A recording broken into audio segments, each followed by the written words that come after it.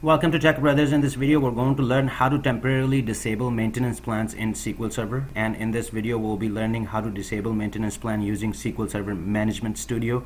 And also another option, we will go through different options of uh, disabling um, maintenance plans in SQL Server. And one of the options that we could go is uh, maintenance plan tasks. We can go ahead and disable maintenance plan tasks. That, that doesn't mean that maintenance plan itself has uh, disabled but uh, even if this maintenance plan runs it will not complete that particular task so let's go ahead and do that here's my SQL Server right here uh, in order to go in maintenance plan you need to go expand management of SQL Server and then go in maintenance plan and I have created a maintenance plan which is backup all databases if you double click on maintenance plan you will see uh, the maintenance plan name, uh, sub plan that what is this plan is going to do, and right here is the maintenance plan tool. So uh, this tool I'm using right now is back, backup maintenance, uh, backup database, all databases. Uh, if you double click on that, as you can see, it's all database backups, and destination is right here.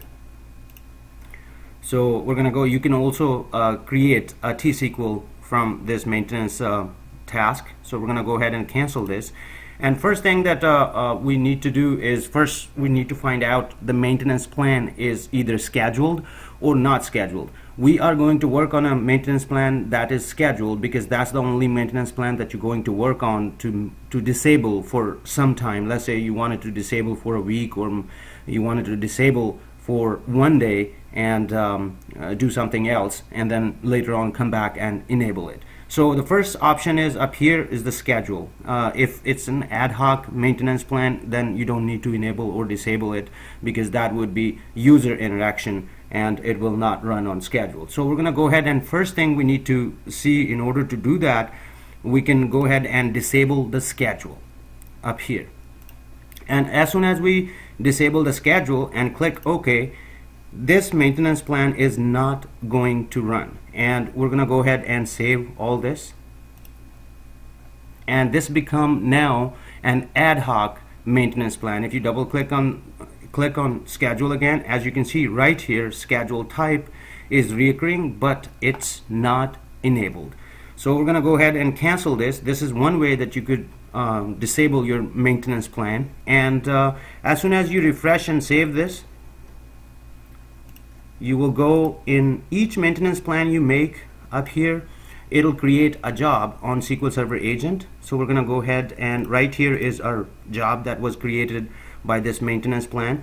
We can go ahead and refresh the jobs and go to the properties of job now and go to the schedule and see up here you will say enable no. And let's go ahead and enable uh, the maintenance plan and we will see that if it changes up here on the job. So we're gonna go ahead and click up here enable it click OK and save it. Don't forget to save it because it will not take effect until you save everything. So we're gonna go back refresh the job and double and double click or go to properties and you will see on steps schedule enabled yes.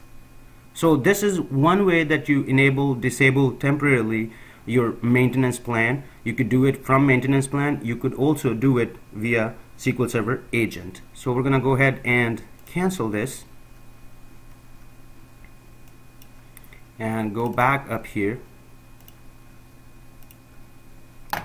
and disable this this becomes again I'm repeating that this becomes ad hoc. You will run this um, right here and it will basically run your uh, uh, task. So the other thing that right here that we um, discussed is how to disable maintenance plan task. Let's say that you you have a maintenance plan and it has one task or two tasks. What you could do is also right click on the uh, task and up here you have option enable or disable. So before we do that let's go ahead and run this maintenance plan. In order to run maintenance plan you can right click on the maintenance plan and click on execute. And let me first go and delete any backup so we would know that if the, it has happened or not. My backup uh, in destination I have given is right here. As you can see up here these are the backups so I'm going to go ahead and delete that and see if our maintenance plan creates these backup. So let's check again everything if um, it's enabled. Schedule is enabled. It doesn't matter really. We're gonna go ahead and cancel this. So we're gonna go ahead and execute our maintenance plan and see if it creates the database's backup alright it's successful. Let's go back. And as you can see all the backups are right here. Even our schedule is disabled. This is kind of ad hoc or on demand schedule uh, on demand execution of maintenance plan. So now let's go ahead and delete the whole thing and we will go ahead and disable our task. Up here when you right click and go to the properties you have an option up here the enable or disable or you can just right click and right now we're going to go ahead and do the disable true. So as you can see right here as soon as you disable it the the task up here becomes grayed out and let, let me enable it and show you. As you can see that it's bolded now and go ahead and disable it and it's grayed out. And let's go ahead and save everything and now we're going to go ahead and execute the maintenance plan. And it will show you that it's executed successfully uh, but it will not do anything. It shouldn't create all the databases. So we're going to go ahead and close this and go back to our database backup location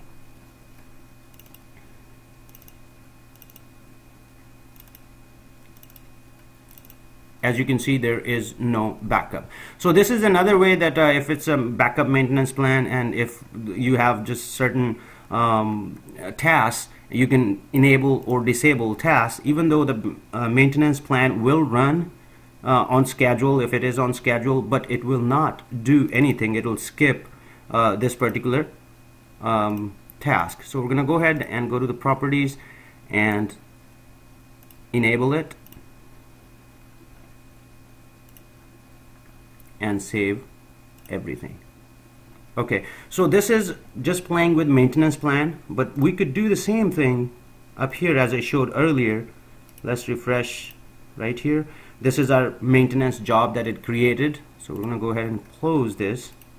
We'll go to the properties of the job and we're going we're going to look at the steps first as you can see right here, it's a ma maintenance uh, plan package and package name is backup all database and it runs on Windows authentication and advanced you can do all that. You can look at it um, on success action and on failure action.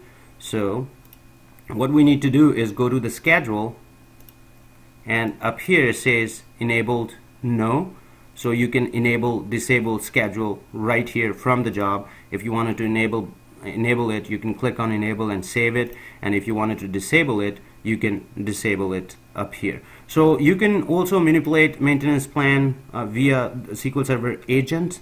And you can also go in just maintenance plan and enable and disable maintenance plans. And I hope this video helps